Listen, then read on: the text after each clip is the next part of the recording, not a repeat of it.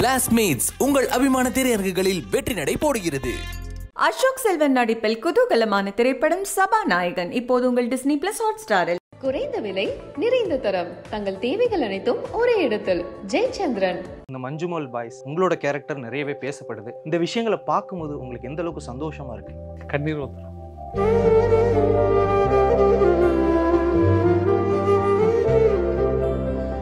பார்க்குறக்கு எல்லாத்தையும் ஒரு எக்ஸ்ட்ரா ஒரு நாலு டிக்கெட் எடுக்கிறது கொடுக்குற கூட ஃப்ரெண்ட்ஸ் இருக்கு. காசு இல்லாம இந்த மாதிரி நடிகர்களுக்கு ஏன் வாய்ப்பு தராங்க இந்த ஜிபி முத்து அவன் இவன் பார்க்குறப்ப எவ்வளோ வலி இருக்குங்க சார்? இந்த படத்துல வந்துட்டு ஒரு சீன் வருங்க இந்த போலீஸ் வந்துட்டு எடுத்த உடனே எந்த கேள்வியும் கேட்காம அந்த ஆளுங்களை அடிக்கிறது. மலையாளி அப்படிங்கிறதுனாலயா? இல்லை எப்படி? மலையாள சினிமாவில் வந்து தமிழ் நடிகர்களை ஒரு வில்லனா சித்தரிக்கிறதுங்கிறது ரொம்ப காலமாக இருக்குது அப்படின்னு சொல்லிட்டு ஒரு விஷயம் சொன்னாங்க. அவர் நான் ரொம்ப ரெக்வஸ்ட் பண்ணி கேட்டுக்கிட்டேன். இல்லாட்டி அந்த இடத்துல வச்சிருந்தோம்னா அது கொஞ்சம் பெரிய வைரல் ஆயிரும் என்ன என்ன சொல்லி அவர் அடிக்க சொன்னாரு அந்த இடத்துல? அந்த இடத்துல வந்துட்டு குணா கேவ்லயே தான் போயிட்டு ஷூட் பண்ணதா வந்துட்டு சொல்றாங்க. ஷூட் பண்ணீங்களா? உண்மையாலுமே அங்கதான் குணாக்கேவை சுற்றி தான் நடந்தது. அந்த செட்டு மட்டும் கொச்சினில் போட்டாங்க. அந்த இடத்துல எப்படி ஷூட் பண்ணாங்க? நீங்க அங்க போ போனீங்களா அந்த லைவ் ஷூட் நான் அந்த ஷூட்டிங் ஸ்பாட்லாம் போயிட்டு வந்தேன். நீங்கள் இதை விட இன்னொரு பள்ளத்தாக்கெல்லாம் ஒரு இடமெல்லாம் போனாங்க. அது சில இடங்கள் வரலையா என்னன்னு தெரியல. அதெல்லாம் பார்த்தீங்கன்னா நீங்கள் இப்போ படத்தோட அந்த பீக்கே ஏந்திரிக்கிறது அந்த எக்ஸ்பிளைன் பண்ணுவாங்கல்ல நீங்களே இந்த எக்ஸ்பிரஷன் கொடுக்கணும். ஏன்னா இந்த இடத்துல நான் ஒரு பாட்டு போட போறேன். அந்த விஷயங்கள்லாம் சொன்னாரா? இந்த இடத்துல ஒன்று வரும். அதெல்லாம் எதிர்பார்ப்பீங்க. குணாவில் இருந்து அப்படின்னாரு. அப்போ எனக்கு இதெல்லாம் சொன்னார் அப்போ இந்த மாதிரி விஷயம் வரும் அப்படின்னாரு. அது லாஸ்ட்டில் பார்த்தா வணக்கம் விஜய் முத்தண்ணே. வணக்கம். எப்படி இருக்கீங்கண்ணே? நல்லா இருக்கும் brother. ஓகேண்ணே. இப்போ இந்த மஞ்சுமல் பாய்ஸ் செம்ம ரெஸ்பான்ஸ் போய்கிட்டு இருக்கு தேட்டரில் உங்களோட கேரக்டர் நிறையவே பேசப்படுது. ரொம்ப நன்றி. இந்த விஷயங்களை பார்க்கும்போது உங்களுக்கு எந்த அளவுக்கு சந்தோஷமா இருக்கு? கண்ணீர் வந்துடும் தேட்டரில் போயிட்டு எப்போ பார்த்தீங்களாண்ணே முதல் நாள்?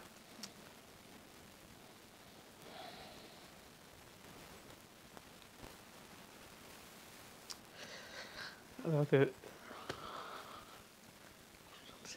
பரவாயில்ல பரவாயில்ல.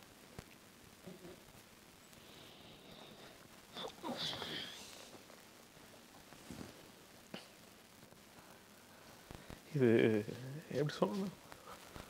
ஆத்மார்த்தமாக வர ஒரு விஷயம். எல்லாரும் படிச்சுட்டு இந்த சினிமா கனவுல வரும். நான் பன்னெண்டு வயசுல இந்த கனவு. ரொம்ப போராட்டம் இழந்திருக்கேன் தமிழில் நான் பார்க்காத டேரக்டர் கிடையாது நடிக்காத டேரக்டர் கிடையாது. எல்லாத்தையும் கெஞ்சி கூட என்னை வேற ஒரு ப்ரமோட் பண்ணுறதுக்கான இல்லை கிடைக்கல கொடுக்கல. எங்கே இருந்தோ அந்த ஒரு மலையாள இந்த கதாபாத்திரத்தை என்கிட்ட வாங்கினதுக்காக அவங்களுக்கு உண்மையிலே மலையாளி அத்தனை பேருக்கும். பார்க்குற தமிழ் ஆடியன்ஸ்க்கு எல்லாருக்குமே நன்றி கடன் பட்டிருக்கேன். ஏன்னா இது என்னை என்ன நான் மரணிக்கிற தருவாயில் கூட ஒரு நல்ல நடிகர் சாகணும் என்ன சம்பாரிச்சுங்கிறவங்க ஒரு பன்னெண்டு வயசில் கனவுல ஓடியான்ட்டோம் படிப்பறிவு இல்லை. என்ன பண்ண போகிறோம் ஃபேமிலி எப்படி ரன் பண்ண போகிறோம் ஆனால் எனக்கு இந்த சினிமா தான் அதிலே இந்த சினிமா தான் என் பிள்ளைகளுக்கு கல்வியை கொடுத்தது எல்லாமே. பட் நமக்குன்னு ஒரு கனவுக்காக வந்தோம்ல அதை இதுவரைக்கும் அடைய முடியல. என்னென்னா இந்த இடத்துக்கு வரக்கு நான் முப்பத்தி ரெண்டு வருஷம் ஒரு நாள் ரெண்டு நாள். எவ்வளோ போராட்டம் எவ்வளோ வலி? சொல்ல முடியாதது. அது பேசினாவே எனக்கு எமோஷனல் ஆகுது. புரியுது புரியுது. இப்போ நம்ம தமிழ் சினிமாவில் நீங்கள் ரொம்ப வெளிப்படையாக சொல்லணும்னா நிறைய அந்த ரவுடி ரோலாக இருக்கட்டும் இல்லை அந்த பின்னாடி இருக்க ரவுடிக்கு பின்னாடி இருக்க ஆள் இந்த மாதிரியான ஒரு ரோல் பண்ணிட்டு இருக்கும்போது மலையாளத்துல இருந்து ஒரு டேரக்டர் உங்களுக்கு இவ்வளோ ஒரு முக்கியத்துவம் வாய்ந்த ஒரு ரோலை கூப்பிட்றாரு. அந்த ஆடிஷன் ப்ராசஸ் எப்படின்னு நடந்துச்சு? எப்படி கூப்பிட்டாரு உங்களை? இதுக்கு மிகப்பெரிய நன்றி கடன் வந்து ராம்ஸ்னு நம்ம அறம் படத்தோட ஆமாம் ஆமாம் ஹீரோ அவர் தான் வந்து இந்த டீமுக்கு தெரிஞ்சவர். அவர் வந்து இந்த மாதிரி ஆர்டிஸ்ட் தர்றாங்க வாங்க அப்படின்னு சொல்லிட்டு என்னை கூப்பிட்டு போனார். அப்போ அங்கே காஸ்டிங் டைரக்டர் வந்து கணபதின்னு சொல்லிட்டு. அவருக்கெல்லாம் உண்மையிலேயே சொல்கிறேன் இந்த என் கூட நடித்தவங்க யாருமே வந்து ஏதோ கிடைச்ச வாய்ப்பு ஏதோ ஒரு பெரிய இடத்துல இருந்து வந்து இல்லை ஒரு விஐபியாவோ எல்லாரும் ரொம்ப கஷ்டப்பட்டாங்க. அதில் ஒரு சிலர் தவிர்த்து மீதி எல்லாருமே வறுமையின் உச்சத்தை நோக்கி நேற்று நம்ப மாட்டேங்க சார் படம் பார்க்குறக்கு எல்லாத்தையும் ஒரு எக்ஸ்ட்ரா ஒரு நாலு டிக்கெட் எடுக்க கொடுக்குற கூட ஃப்ரெண்ட்ஸுகளுக்கு காசு இல்லாமல் சுற்றுறாங்க இந்த மாதிரி நடிகர்களுக்கு ஏன் வாய்ப்பு தராங்க? இந்த ஜிபி முத்து அவன் இவன் பார்க்குறப்ப எவ்வளோ வலி இருக்குங்க சார். யோசிச்சு பாருங்க. இந்த ஒரு பேர் என்ன? ஏதோ பண்ணிட்டாராமா அவருக்கு கொடுக்குற சம்பளத்தை கூட ஏற்றி கொடுக்குறாங்க. கொடுக்குற ரெஸ்பான்சிபிலிட்டி கூட அப்படி கொடுக்குறாங்க. இத்தனை வருஷம் தொலைச்சிட்டு ஒருத்தன் வரவனே நாங்கள் அந்த அந்த லெவல்லே தான் இருக்கணுமான்னு பார்க்குறாங்களா என்னன்னு தெரில அது ஒரு சிலர்கிட்ட. இதெல்லாம் வந்து மாற்றணும் ஏன்னா அவங்களுக்கும் இந்த மாதிரி ஒருத்தன் ஃபேமிலியில் ஒருத்தன் நாளைக்கு இன்னொருத்தன் பிறந்து வருவான் இந்த மாதிரிலாம் ஒரு தேடுதல் இருக்கும். அப்போ நம்ம என்ன ப்ரெசென்ட் பண்ணுறோமோ அதை அவங்களுக்கு ப்ரெசென்ட் கடவுள் பண்ணுவான். என்னன்னா நம்மளை பார்த்தா ரவுடி மாதிரியா? என்ன எல்லாத்துலேயுமே கொலை பண்ணுறவன் தான். எல்லா ஹீரோவெல்லாம் கொலை பண்ணுறாங்க அப்போ அவனுக்குள்ள ஒரு சூழ்நிலை மறுபடியும் கதாநாயகன் கதாநாயகி குடும்பம்னு காமிக்கிறது அப்படி எங்களுக்கும் இருக்கும்ல அந்த பெயின் நடிப்போம்ல. அது ஏன் நம்ம இண்டஸ்ட்ரியில் தெரில இப்போ மலையாள படத்துலேயே கூட ஒரு ரகடான கேரக்டர் தான். ஆனால் அவனுக்கான ஒரு சேஞ்ச் ஓவர் கொடுப்பாங்க அந்த கடைசியில் அந்த அவரை இறக்குறதுக்கு முன்னாடி அவன் தான் டிசைட் பண்ணும் அவன் முடிவு பண்ணால் தான் அந்த போலீஸ்காரன் முடிவு பண்ணால் தான் அவனை இறக்க முடியும். இல்லாட்டி அவன் முடியாதுன்னு சொன்னான்னா அங்கே போராட்டம் என்ன பண்ணாலும் முடியாது. ஸோ அந்த மாதிரி ஒரு சேஞ்ச் ஓவர் கொடுத்து உண்மையிலே சிதம்பரம் சாருக்கு அந்த கேமராமேன் சாருக்கு ஆர்ட் டைரக்டர் சின்ன பாசிக்கு சௌபின் சார்லாம் உண்மையிலே சொல்கிறாங்க அவர் வந்து எனக்கு கையை பிடிச்சிட்டு கடைசி நாள் ஷூட்டிங் முடிச்சுட்டு வரப்போ என்னோடய பரவா ஃபிலிம்ஸில் நீங்கள் எல்லாத்துலேயும் இருக்கு சார். உங்கள் பர்ஃபார்மன்ஸ் எனக்கு ரொம்ப பிடிச்சிருக்குன்னாரு. ஏன்னா என் நடிப்பாக வந்து மணிரத்னம் சார் என்னை ரொம்ப லைக் பண்ணுவார். நீங்கள் அவர் படமெல்லாம் நான் சின்னதாக தான் பண்ணுறேன் ஆனால் அவர் என்னை பெஸ்ட் ஆக்டர் அவருக்கு இந்த திறமையிலலாம் அவங்க மாதிரி ஆளுகளுக்கெல்லாம் நன்றி சொல்லணும். விக்ரம் சார் என்னை பாராட்டுவார். அதில் கார்த்திக் சுப்ராஜ் என்னை நல்லா பயன்படுத்தியிருந்தார் மகான்ங்கிற இவ்வளவு வழிகள் என்னென்னா நான் கொஞ்சம் படிக்காதனால கொஞ்சம் பேசுவேன். எனக்கு உள்ளே வச்சுக்க தெரியாது. எதாக இருந்தாலும் கோபமாக வெளிப்படையாக எதாக இருந்தாலும் கேட்டுருவேன். பட் அது கூட எனக்கு மிஸ்டேக்கா என்னன்னு தெரில அது உணர முடியுது. ஆனால் அடுத்த நிமிஷம் மறந்துடுவேன் அது இது பேசியிருந்ததுனால நமக்கு வாய்ப்பு இல்லையோ அப்படின்னு சொல்லி மறந்துடுவேன் அந்த மாதிரி ஒரு கேரக்டர் கொஞ்சம் அந்த கிரிமினலாக யோசிக்கிறதுக்கு தெரியாது. அறிவு சார்ந்து ஸோ அதுதான் லேட்டுன்னு நினைக்கிறேன். பரவாயில்ல பரவாயில்லண்ணே. இப்போ அதுக்கு எல்லாத்துக்கும் சேர்ந்து ஒரு மிகப்பெரிய வெற்றி கிடைச்சிருச்சு. ஒரு அங்கீகாரம் கிடைச்சிருக்குல்ல. இப்போ அவர் வந்துட்டு அந்த டேரக்டர் ஏதாவது ஒரு விஷயம் பார்த்துருப்பார்ல உங்ககிட்ட? அண்ணன் நான் வந்து உங்களை இதில் பார்த்தேன். எனக்கு ரொம்ப பிடிச்சிருந்தது. ஒரு ஆடிஷன் அப்படின்ற மாதிரி ஆடிஷன்லாம் வச்சாரா? இல்லை சார் அதெல்லாம் எதுவுமே இல்லை சார். இப்படி நம்ம பேசி பழகினதை பார்த்தாரு சார். ஆ. அப்போ சிதம்பரம் தான் காஸ்டிங் டைரக்டர் அந்த படத்துக்கு ஒரு இன்- ஒரு கேரக்டர் கூட டைரக்டர் டிசைடிங் கிடையாது. காஸ்டிங்க்குன்னு தனியாக டைரக்டர் அவர் பிரதர் தான். அவரோட பிரதர் தான் டைரக்டரோட பிரதர் தான். அவர் தான் எல்லாத்தையும் பார்த்தார். உண்மையிலே கணபதி அந்த படத்தோட காஸ்டிங்கில் பேர் போயிடுச்சு இன்னைக்கு கேரளாவில் அது கணபதிக்கு தான் அது சேரும். அவர் அப்படி ஒவ்வொரு கேரக்டரையும் டிசைட் பண்ணார். அண்ணா இப்போ நீங்கள் தமிழ் சினிமாவில் இவ்வளோ படங்கள் பண்ணியிருக்கீங்க. இப்போ மலையாளத்துக்கு போகும்போது வித்தியாசங்கள் என்னென்ன பார்க்குறீங்க? இந்த தமிழ் சினிமாலையும் இந்த மலையாள சினிமாலையும் அங்கே அந்த ரெஸ்பெக்ட் இருக்கும்ல அந்த மரியாதை தமிழ் நடிகர்களுக்கு அதை எப்படி பார்க்குறீங்க? ஐயோ அதெல்லாம் நான் இதுக்கு முன்னாடியே சின்ன சின்ன படம் மலையாளத்தில் ரெண்டு மூணு படம் பண்ணியிருக்கேன். சின்ன கேரக்டராக பட் அவங்க மரியாதை வந்து என்னென்னா நம்ம என்னமோ சொல்லுவாங்கள்ல அந்த காமெடியில் சொல்லணுன்னா கூட உள்ளூர் ஆட்டக்காரனை வெளி சொல்லுவாங்கள்ல வெளியூர் ஆட்டக்காரனை உள்ளூர் ஆட்டக்காரன் மதிக்கிறதா முறைங்க. அந்த அளவுக்கு அவங்க மரியாதைங்க. தங்க வைக்கிற இடமா இருக்கட்டும் நம்மளுடைய போக்குவரத்துக்காகட்டும் இல்லை பண விஷயமா இருக்கட்டும் எல்லா விஷயத்துலேயும் ரொம்ப ஜெனன் மலையாள இண்டஸ்ட்ரி அதுலலாம் எனக்கு தெரிஞ்சு அதுலேயும் இந்த சௌபின் சாரோட கம்பெனிலலாம் அதெல்லாம் ரொம்ப நீட்னஸ் மேனேஜர்ஸ் எல்லாம் நல்ல மரியாதை ரெஸ்பான்சிபிலிட்டியாக நடத்துனாங்க. நமக்கு ரூம் கொடுக்குறதுலேருந்து எல்லாமே. இந்த படத்தில் வந்துட்டு ஒரு சீன் வரும் சார். நீங்கள் வந்துட்டு அந்த போலீஸ் ஸ்டேஷனில் அவங்க வந்து உட்காந்துருப்பாங்க என்ன ஏது அந்த இன்ஸ்பெக்டர் யார் என்ன ஏதுன்னு கூட தெரியாது. அந்த ஆளுங்க என்னன்னு தெரியும் நேராக வருவீங்க வந்தோடனே அந்த லத்தி எடுத்து அடிக்கிறது. அது என்ன மாதிரியான ஒரு கேரக்டரைசேஷன் அந்த போலீஸ் வந்துட்டு எடுத்த உடனே எந்த கேள்வியும் கேட்காம அந்த ஆளுங்களை அடிக்கிறது. அதுவும் வந்துட்டு மலையாளி அப்படிங்கிறதுனாலயா? இல்லை எப்படி? இல்லை பிரதர் அதை ஆக்சுவலாக வந்து ரொம்ப நேற்று கூட ரிவ்யூவில் எல்லாம் நம்ம ரெண்டு மூணு பேர் பே உங்களை மாதிரி யூடியூப்பில் பேசுகிறவங்க சொன்னாங்க. தமிழ் சினிமாவில் மலையாள சினிமாவில் வந்து தமிழ் நடிகர்களை ஒரு வில்லனாக சித்தரிக்கிறதுங்கிறது ரொம்ப காலமாக இருக்குது அப்படின்னு சொல்லிட்டு ஒரு விஷயம் சொன்னாங்க. இந்த படத்தை பொறுத்தவரை சிதம்பரம் சார் அதில் எதுவுமே கிடையாது. என்ன காரணம்னா இது ஒரு ட்ரூ ஸ்டோரி அந்த நிஜத்தில் பாதிக்கப்பட்டவங்க அந்த ஸ்டேஷனில் இந்த இன்ஸ்பெக்டர் எதுக்காக அடிக்கிறான்னா ஒன்று அவன் அன்னைக்கு அவனுக்கு வந்து அன்னைக்கு ட்ரான்ஸ்ஃபர் பண்ணியிருப்பாங்க அந்த ஒரு நாளில். அந்த கோபம் ஒன்று இருக்கும். இந்த நேரத்தில் அவனுக்கு உள்ளூர அந்த மலையாளிங்கிற ஒரு விஷயம் இருந்திருக்கு. அது வந்து அந்த போலீஸ்கார்ட்ட இருந்திருக்கு எல்லாமே. அதையை அந்த பாதிக்கப்பட்டவங்க உண்மையை உணர்ந்து சொன்னதை அங்கே கூட வார்த்தைகள்லாம் கெட்ட வார்த்தைகள்லாம் யூஸ் பண்ணுறதுக்கு தான் யூஸ் பண்ணியிருக்காங்க. அதையும் இருந்தது ரைட்டிங்கில். அப்போ நான் தான் சொன்னேன் இல்லை சார் நான் ஒரு இன்ட்ரி ஒரு புதுசாக ஒரு மொழிக்குள்ளே வர்றேன். நான் ஒரு இனம் சார்ந்து அந்த வார்த்தைகளையெல்லாம் பேச விரும்பல சார். த தவிர்த்துக்கிறேன். நான் வந்ததை அடிச்சிடறேன் சார் அப்படின்னு சொல்லிட்டு அவர் நான் ரொம்ப ரெக்வஸ்ட் பண்ணி கேட்டுக்கிட்டேன். இல்லாட்டி அந்த இடத்துல வச்சுருந்தோம்னா அது கொஞ்சம் பெரிய வைரல் ஆயிரும்ட்டு என்ன என்ன சொல்லி அவர் அடிக்க சொன்னார் அந்த இடத்துல? மலையாளத்தான்னு சொல்லிட்டு தான் அந்த பசங்கள்கிட்ட சொல்லியிருக்காங்க. அப்போ இருந்த போலீஸ். ரியல் ஸ்டோரியில் அது ரியல் ஸ்டோரியில் போலீஸ் வந்து அடிக்கிறப்போ மலையாளத்தான் அடிச்சிருக்காங்க. கடைசியில் போகிறப்போ அவன்கிட்ட இருந்த பத்து ஐநூறை கூட பிடுங்கிட்டு கேஸ் போட்டுருவான்னு லாஸ்ட்டில் கொண்டு போய் அந்த ஹாஸ்பிட்டல்லேருந்து அவங்க ரிலீஃப் ஆகும் அவன் விட்- அந்த இன்ஸ்பெக்டர் நினச்சா தான் போக முடியும் இல்லாட்டி கேஸ் போடுற இனிஷியல் இருந்தான் ஏன்னா அது என்ன தான் ஃபாரஸ்ட்டாக இருந்தாலும் லேண்ட் ஆர்டர்லையும் கம்ப்ளைண்ட் வந்திருக்கும். ஆமாம் ஸோ அதனால் அவர் வந்து வயலில் சேனலுக்கெல்லாம் போயிருக்கும் அப்போ இருந்த லோக்கல் சேனல்கள் எல்லாம் போயிருக்கும் அதனால் அந்த ஆள் அந்த இதில் ஒரு ஸ்ட்ரிக்டாக இருக்கிற மாதிரி பேசியிருக்காரு. பட் அதெல்லாம் வேணான்னு கொஞ்சம் தவிர்த்திருக்காங்க. நீங்கள் அந்த ரியல் லைஃப்பில் அந்த மஞ்சுமல் பாய்ஸ் கூட எதுவும் பேசுனீங்களா? என்ன விஷயங்கள் நடந்தது? அந்த விஷயங்கள். ஏன்னா அந்த போலீஸ் கேரக்டரைசேஷன் வாங்கணும்னா அவங்கள்ட்ட ஆமாம் கேட்டிருக்கோம்ல அவங்கள நான் ஃபஸ்ட்டு பார்க்கல. ஆக்சுவலாக படம் பார்க்குற அன்னைக்கு தான் பார்த்தேன். அப்போ தான் வந்து சொன்னாங்க நீங்கள் கம்மியாக பண்ணியிருக்கு சார்னாங்க அதே ஆமாம் அவங்க ட்ரீட்மெண்ட் பயங்கரமாக இருந்தது. குழிக்குள்ளே யாரையுமே இறங்க கூட முடியல. விட மாட்டேன்ட்டாங்களாம் கடைசி வரைக்கும் போராடி போராடி போராடி ஒரு கட்டத்தில் அது வந்து படத்தில் அவ்வளோ இதாக கொண்டு போக முடியாதனால கம்மி பண்ணியிருக்காங்க. அவ்வளோ ஸ்ட்ரகிள் பண்ணியிருக்காங்க அந்த பசங்க பாவம். ஸோ இப்போ இந்த போலீஸ் கேரக்டர் வந்துட்டு படத்தில் ரொம்ப கம்மியாக கம்மி நிஜத்தில் இன்னும் நிஜத்தில் குகையை விட மோசமானவன் அந்த போலீஸ். ஓ. அதுதான் உண்மை. அவர் ஏன்னா அந்த அங்கே இருந்தவங்களுடைய உணர்வுகள் படம் பார்த்துட்டு வெளில வரப்போ ஒவ்வொருத்தட்டையும் தெரிஞ்சுது அந்த நிஜ மஞ்சுமேல் பாய்ஸ்ட் அப்போ தான் என்னையெல்லாம் நான் சும்மா ப்ரெஸ்ஸில் அவங்க கூட நிற்கிறப்ப கூட என்னை மறக்காமல் அவங்க ஞாபகப்படுத்துகிறாங்க அண்ணன் பண்ணியிருக்கிறது கம்மிங்க அப்படின்ட்டு. அந்த மாதிரி பாதிக்கப்பட்டிருக்காங்க அவங்க.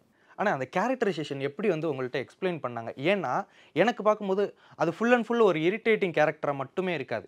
அந்த கேரக்டர் வந்து முதல்ல வெறுக்க வைக்கும். அப்புறம் கடைசியில் சரி பார்த்து ஊர் போய் சேருங்கடா திரும்ப வந்துடாதீங்க அப்படின்னு சொல்லிட்டு அவனுக்குள்ள அந்த ஒரு சாஃப்ட் கார்னரும் இருக்கும். அதே சமயம் அவன் ரொம்ப வெகுளித்தனமாக பேசுவான். ஆ நொட்டுறதுக்கு முன்னாடி யோசிச்சிருக்கணும். அப்படின்னு அந்த குழிக்குள்ள போய் நொட்டு அப்படிங்கிற விஷயங்கள் அதெல்லாம் வந்து ஆக்சுவலாக வந்து அதெல்லாம் வந்து என்னமோ கணபதி சார் தான் கணபதி சாருங்கிறேன் டைரக்டர் சிதம்பரம் சார் தான் சொல்லணும். என்னன்னா அந்த கேரக்டர் வந்து ஃபுல் அண்ட் ஃபுல் அது கிடையாது.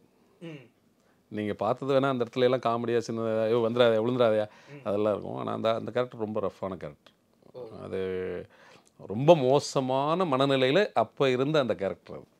ஓகே அந்த மாதிரி. ஆனால் இப்போ அந்த அந்த இடத்துல வந்துட்டு குணா கேவ்லேயே தான் போயிட்டு ஷூட் பண்ணதா வந்துட்டு சொல்கிறாங்க ஷூட் பண்ணீங்களா? உண்மையாலுமே அங்கே தான் ஷூட் குணாக்கேவை சுற்றி தான் நடந்தது. அந்த செட்டு மட்டும் கொச்சினில் போட்டாங்க. கொச்சின்னா அது ஒரு ஏரியாவில் போட்டிருந்தாங்க கேரளாவில் மற்றபடி எல்லாமே குணாக்கேவ் அந்த இறங்கி போகிறது அதெல்லாம் மேக்ஸிமம் அங்கே தான் அந்த இடத்துல எப்படி ஷூட் பண்ணாங்க? நீங்கள் அங்கே போ போனீங்களா அந்த லைவ் ஷூட் நான் அந்த ஷூட்டிங் ஸ்பாட்லாம் போயிட்டு வந்தேன். நீங்கள் இதை விட இன்னொரு பள்ளத்தாக்கெல்லாம் ஒரு இடமெல்லாம் போனாங்க. அது சில இடங்கள் வரலையா என்னன்னு தெரில அதெல்லாம் பார்த்தீங்கன்னா நீங்கள் இன்னும் பிரமிப்பாயிருவீங்க. கேமராமேன் அவர் வேற ஒரு லெவல் அவர் மிகப்பெரிய இல்லை எங்களுக்கு பார்க்கும்போது அந்த விஷுவல் இப்படி இப்படி ட்ரோன் ஷாட்டில் அப்படி போகும்போது பார்க்கவே பயமாக இருந்தது. நீங்கள் அந்த இடத்துலலாம் அப்படி நடந்து போனீங்களா? அப்படின்னு. சரி இதுவும் செட்டாக இருக்குமோ? அப்படின்ற மாதிரிலாம் நாங்கள் யோசிச்சோம். அப்புறம் தான் சொன்னாங்க இல்லை அந்த கேவ் மட்டும்தாங்க செட்டு ஆர்ட் டைரக்டருங்க ஆ. ஆர்ட் டைரக்டர் அஜயன் சார் ஐயோ நான் அவர்கிட்ட ஆக்சுவலாக வந்து டெய்லி அந்த ஸ்பாட்டுக்கு போவேன். பா போயிட்டு எல்லார்ட்டையும் ஆர்ட் இதை பற்றி பேசுவேன் வைப்பேன். அந்த ஆர்ட் டைரக்டர்கிட்ட நான் ரொம்ப நாளாக பேசிகிட்டு இருக்கேன். ஒரு ஃபைவ் டேஸ் செவன் டேஸாக பேசிகிட்டு இருக்கேன் அவர்கிட்ட. சூப்பராக இருக்குண்ணே அப்படின்னு அப்படின்னு. கடைசியில் அவ வெளியில எல்லாம் கேட்டிருக்கேன் இது ஆர்ட் ஆர்ட் டைரக்டருங்க ஆர்ட் டைரக்டர். அவர்கிட்ட தான் ஒரு வாரமாக பேசிட்டு இருந்தேன். அது கூட தெரியாமல் தான் பேசிட்டு இருந்தேன். அப்புறம் கடைசியில் அவர்கிட்டயே போய் அண்ணே ஒரு நாள் இதோட ஆர்ட் ஆகிட்டு யாருண்ணே? இங்கே வந்திருக்காரு அண்ணே? அப்படின்னு. ஏங்க நான் தாங்க. அவர்லாம் இல்லை அங்கே டெக்னிக்கெலாம் வந்துங்க எல்லார்ட்டையும் அந்த டெடிகேஷன் ஒர்க்குங்க ஒரு அது எப்படி சொல்றதுன்னா மார்க் வைக்கிறாங்கல்ல. நம்ம இங்கெல்லாம் வந்து பார்த்தீங்கன்னா மார்க் வைக்கிறவங்க கூட கொஞ்சம் டைம் ரெண்டு செகண்ட் கொடுப்பாங்களாங்கிறது டவுட் தான். அதுக்காக தப்பு சொல்லல. ஆனால் அங்கே வந்து அவரை கூட அவர் சார் ஃபைவ் மினிட்ஸ் ஆகும் சார் அப்படின்னா வெயிட் பண்ணுறாங்க ஏன்னா அவர் வந்து கொஞ்சம் கரெக்டாக வைக்காம விட்டார்னா நீங்கள் மறுபடியும் எல்லா ஆர்டிஸ்ட்டையும் ஒரு ஒன் மோர் போகணும். ஆனால் அவருக்கு கூட அந்த டைம் கொடுக்குறாங்க. அதனால அங்கே டெக்னிக்கலாக எல்லாருக்குமான ஒரு ரெஸ்பான்சிபிலிட்டி ரொம்ப ஓகே. ஏதாவது மறக்க முடியாத அனுபவம் இருக்கா? ஐயோ எங்களுக்கே அப்படி ஆயிருக்கும்பா. அந்த மாதிரி எதுவும் ஒரு த்ரில்லிங்கான விஷயங்கள் ஏதாவது நடந்துச்சு அந்த ஷூட் டைமில் கேவுக்குள்ள எல்லாருக்குமே இருந்தது. என்னென்னா மூடே அப்படி தான் இருக்கும். நீங்கள் படம் பார்த்தப்ப என்ன மூடில் இருக்கீங்களோ ஷூட்டிங் ஸ்பாட்டுக்குள்ளேயே நீங்கள் வந்து என்னென்னா ஒருத்தன் உண்மையிலேயே இருக்கிற மாதிரியும் எல்லாரோட முகங்களுமே அந்த மாதிரி தான் இருக்கும் அந்த உள்ளே வந்துருச்சுனாவே உள்ள இருக்கிறவனை எப்படி தூக்குறதுங்கிறப்ப அதே மாதிரி இந்த வே ஒர்க் பண்ணுறவங்க எல்லாரோடையுமே அதுக்குள்ளே ரொம்ப சேலஞ்சிங்காக தான் இருந்தது. ஓகே போலீஸ் பெர்மிஷன் அந்த விஷயங்கள்லாம் எப்படி? ஏன்னா உண்மையாலுமே அந்த இடத்துக்கு எல்லாமே பர்மிஷன் மாதிரி தான் வாங்கி பெர்மிஷன் வாங்கிட்டு நீட்டாக பண்ணது தான் ஏன்னா யாருக்கும் டிஸ்டர்பன்ஸான போய் எங்கே எடுக்கல? நீங்கள் பார்த்தீங்கன்னா தெரியும் பப்ளிக் டிஸ்டர்பன்ஸான ஏரியாலே இருக்காது அது. அதுக்கான என்ன ஷார்ட் தேவையோ அதுக்கானதுக்கு மட்டும்தான் போயிருப்பாங்களே தவிர மற்றபடி யாருக்குமே எந்த டிஸ்டர்ப் இல்லாமல் எடுத்தார். அந்த டீமே அப்படி தான் அவங்க போகிறதும் தெரியாது அங்கே ஷூட்டிங் எடுத்துட்டு இருக்குன்னு தெரியாது. அந்த மாதிரி தான் அதாவது போக இங்கே ஃபெமிலியர் ஆக்டர் யாரும் கிடையாது. அங்கே க்ரௌடு வந்து பார்க்குறக்கோ வைக்கிறக்கோ சௌபின் சார் சின்னாத் பாசியெல்லாம் அவங்களுக்கு பெருசாக பரிச்சயம் இல்லாதனால. இதை விட சின்னாத் பாசிக்கு வெளியில் வேலைன்னா அந்த வெளியில் சுற்றுற வரைக்கும் தான் அதுக்கப்புறம் படம் ஃபுல்லாக அவரும் கிடையாது. அதுக்கப்புறம் ஃபுல்லாக செட்டுக்குள்ளே போயிட்டோம். ஸோ அதனால தெரில ஓகே ஓகேண்ணே. இப்போ உண்மையான அந்த மஞ்சுமல் பாய்ஸ் வந்து இந்த படத்தில் நடிச்சாங்க அப்படின்ற மாதிரி சொல்கிறாங்க ஆமாம் அந்த கயிறு இழுக்கிறாங்கல்ல ஃபஸ்ட்டு அந்த டக் ஆஃப் வார் அதில் ஆப்போசிட் குரூப் அவங்க தான். ஹீரோ குரூப்ஸோட ஆப்போசிட் குரூப் அது யார் ஐடியா? Director sir. ஐயோ அவரை என்னங்க எவ்வளவு தானே சொல்றதா? அதாவது எந்த ஷாட்டோட எதை கனெக்ட் பண்ணணும்? அந்த குழந்தை ஒரு இதுக்குள்ள விழுந்தது இதை விட இன்னொன்று ஹீரோவோட இமேஜினேஷன் அவர் பார்க்கறப்ப அவர் கனவுல ஒரு வித்தவுட்டா நடந்துட்டு இருப்பாரு. அதெல்லாம் என்ன கற்பனைன்னே தெரியல. அது எப்படி ஒரு அதுவும் அந்த தண்ணிக்குள்ளே விழும்போது கரெக்டாக அப்போ தான் எக்ஸிக்யூட் பண்ணுவார் அந்த விஷயங்கள். இல்ல அந்த கேவுக்குள்ள இவர் உயிரோ படுத்திருக்கிற இடத்துல இருந்து ஒரு இவருக்குன்னு ஒரு மனசு மட்டும் ஒன்று அலைபாய்ந்து செல்ற மாதிரி ஒரு ஷாட் வச்சிருப்பாரு பாருங்க. அதெல்லாம் என்ன யோசனை? இதெல்லாம் எனக்கு தெரியும். இந்த ஆனா ஆக்சுவலாக அது கமல் சார் வாய்ஸாக பேசுவாருன்னு நினைச்சேன் அது. அந்த இது மனிதன் நொந்து கொள்ள இது மனித காதல் அல்ல அது அது பேசுவார்னு நினச்சிட்டு இருந்தேன் நான். அப்படிதான் ஏதோ இவங்க பண்ண போகிறாங்க ஏன்னா அங்கே சொன்னார் இந்த இடத்துல ஒன்று வரும் அதெல்லாம் எதிர்பார்ப்பீங்க குணாவில் இருந்து அப்படின்னாரு. அப்போ எனக்கு இதெல்லாம் சொன்னார் அப்போ இது மாதிரி விஷயம் வரும் அப்படின்னாரு. அது லாஸ்ட்டில் பார்த்தா அந்த சாங்கு அந்த காயங்களோட கனெக்ட் பண்ணாரு பாருங்க. உண்டான காயம் எல்லாம் தன்னாலே ஆறி போகும். உனக்கு உங்க ரெண்டு பேருக்கு ஆன காயம் தன்னால ஆறிடுங்கிற ஒரு விஷயம். இது ஒரு மிகப்பெரிய காதலனால தான் எழுத முடியும். சினிமாவை காதலிப்பவன் கமலஹாசனை காதலித்தவர் அப்படின்னு சொல்லலாம் டேரக்டர் இப்போ அந்த இதுதான் இப்போ எனக்கு ரொம்ப முக்கியம். இப்போ படத்தோட அந்த பீக்கே ஏந்திரிக்கிறது தான் இப்போ அது வந்துட்டு அவங்க உள்ள இருந்து எடுத்துட்டு வரும்போது ஒரு பிஜிஎம் ஏதோ ஒன்று போட்டிருக்கலாம் இல்லை சீரியஸான ஒரு டோனில் போயிருக்கலாம். அந்த இடத்துல அந்த எக்ஸ்பிளைன் பண்ணுவாங்கல்ல நீங்களே இந்த எக்ஸ்பிரஷன் கொடுக்கணும். ஏன்னா இந்த இடத்துல நான் ஒரு பாட்டு போட போறேன். அந்த விஷயங்கள்லாம் சொன்னாரா? அது யாருக்குமே தெரியாது. நடிச்ச யாருக்குமே தெரியாது? நடிச்ச யாருக்குமே தெரியாது. மேக்ஸிமம் தெரியாது. எங்களுக்கு ஒரு ஒரு சிலருக்கு தெரியும் பட் எல்லாருக்குமே தெரியாது. அந்த ஒரு சிலருக்கு மட்டும் இந்த இடத்துல வாய்ஸோ ஏதோ ஒன்று வரும் அப்படிங்கிறது மட்டும் சொன்னாங்க. ஆனால் இப்படி ஒரு ப்ரெசன்டேஷனாக வரும்னு நமக்கு தெரியாதுல்ல. இப்போ நீங்கள் ஒரு வாய்ஸ் அந்த இடத்துல வரும்னா கமல் சார் பேசுகிறாருன்னா நம்ம நார்மலாக என்ன தூக்குனதும் இந்த ஒரு டைலாக் வருது. அதுக்குள்ளே இந்த வார்த்தைகளுடைய அர்த்தம் நம்ம அப்போ யோசிக்கல. நம்ம நடிச்சிட்டு இருக்கிறப்போ உண்டான காயம் இல்லாமல் வர வார்த்தைக்கு இவங்க ரெண்டு பேருக்கான காயத்தை கூட அது கனெக்ட் பண்ணுது அப்படிங்கிறதெல்லாம் நமக்கு தெரியாது. அது அந்த லைனில் சத்தியமாக தெரியாது யாருக்குமே. இந்த பாடலோட வரி இதோட கனெக்ட் ஆகி வரும்னு தெரியாது. ஓகே ஓகேண்ணே இப்போ இந்த படம் பார்த்துட்டு உங்களுக்கு யார் யாரெல்லாம் ஃபோன் பண்ணால் அதில் மிகப்பெரிய யார் யாரெல்லாம் ஃபோன் பண்ண நம்ம நண்பர்கள் உங்களை மாதிரி நண்பர்கள் ஃபோன் பண்ணியிருக்கீங்க முதல் முறையாக நான் நேற்று கூட ஒரு சேனலில் பேட்டி கொடுத்தேன். அது கூட என் நண்பர்கள் தான் கூப்பிட்டாங்க. என்னை டைரெக்டாக முதல் முறை கூப்பிட்டது நீங்கள் தான். இதை விட இன்னொன்னா நேற்று பேசின சேனலில் கூட நமக்கு கிடைத்த வாய்ப்புக்கு இப்போ எங்கள் ஃபேமிலியிலலாம் ஒரு சே பையன் இவ்வளோ தூரம் ஒரு விஷயம் கஷ்டப்பட்டு பண்ணியிருக்கான்னு ஒரு சந்தோஷம் இருக்குமே. அந்த சந்தோஷத்தை என் நண்பர்களுக்கும் பகிர்ந்து கொண்டுட்டு நேற்று நான் போன சேனலுக்கு என் நண்பர்களையும் என் கூட கஷ்டப்பட்டு நடி வந்த நடிகர்கள் அதில் நடித்தவங்களையும் வாங்க நான் ஒரு சேனல் போகிறேன் உங்களையும் சொல்கிறேன் நீங்களும் அதில் பேட்டி கொடுங்க. ஏன்னா இன்றைக்கி அந்த மாதிரி பண்ணுறக்கா எனக்கெல்லாம் ஆள் இல்லை அப்போ இருந்து.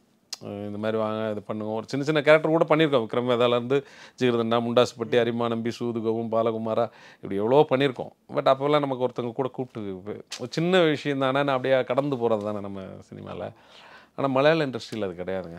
நான் பார்த்த வரைக்கும் இந்த படத்தில் நீங்கள் பார்த்துருப்பீங்க எந்தெந்த கேரக்டருக்கு என்னென்ன இம்பார்ட்டன்ட் கொடுத்துருக்காங்க ஆனால் எல்லாரையும் கொண்டாடுறாங்க. பத்திரிகையாளர்கள் முதல் கொண்டு அந்த ஒவ்வொரு கதாபாத்திரத்துக்கும் தனி இண்டிவிஜுவாலிட்டி கொடுக்குறாங்க. அது சின்னதாக இருக்கா பெருசாக இருக்கான்னு.